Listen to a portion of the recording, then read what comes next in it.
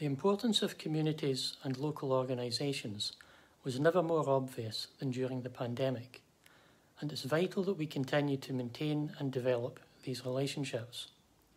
In June, we outlined our priorities for the next five years in our East Dunbartonshire Forward in Partnership paper, and it is our intention to do this through genuine engagement with our wide ranging local communities and with our workforce.